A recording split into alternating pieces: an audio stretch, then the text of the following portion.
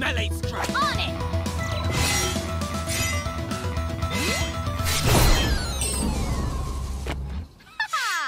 Thank you very much.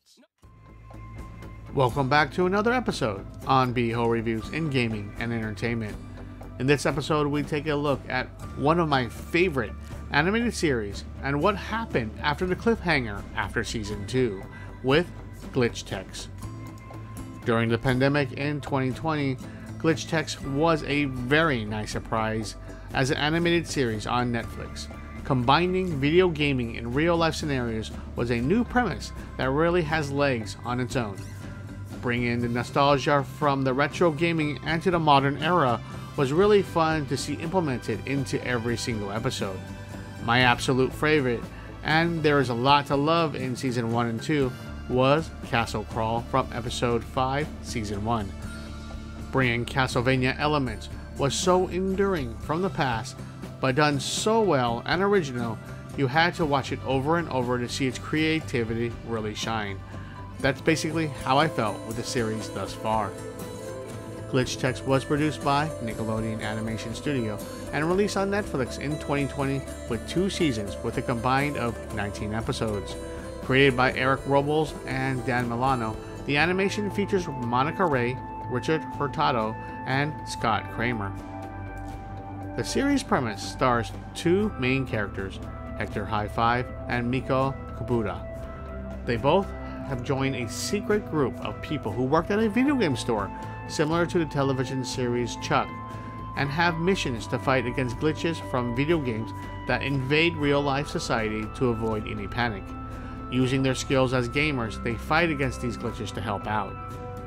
Normally, just one episode at a time, similar to The Simpsons, with no real story but missions, Season 2 also introduced different teams and an actual story arc that left the end with a cliffhanger. This thing has shields? That wasn't the glitch.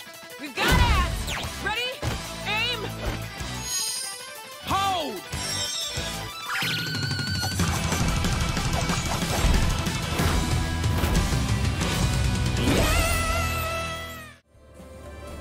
Being announced in 2016, the series was saved after workers being laid off due to how expensive the show and animation would cost overall.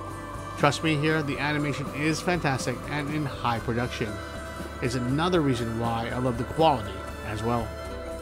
Virtually saved by Netflix, the episodes were cut in half as season 1 and 2 as production caught up.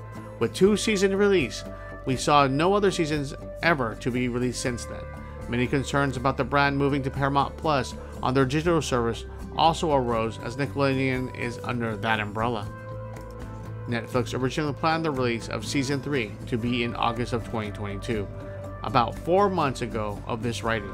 Netflix has yet to officially announce the renewal, but with its popularity and immense content on Netflix, I always thought this would be a no brainer. The worst feeling is a canceled series that was really, really good. The worst part is we may never know where the story is headed. I truly do not believe that the viewership was that terrible not to renew.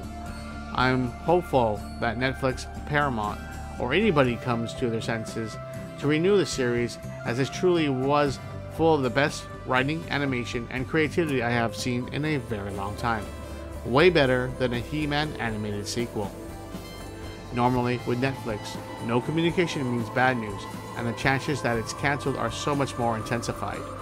Hoping for the best, as this animated series deserves a lot more. If you haven't watched it yet, it is a must for video gamers, and if not that, then just for its overall presentation and quality from the animation, writing, and characters, and just a really fun to watch animated series. That's it for this look at what happened to one of my favorite animated series, Glitch Techs. Please like and subscribe if you like my videos. Beho out and Greg. Take us out of here, and I will see you all next upload. Damn. Uh. Yeah. Uh. Yeah. Uh.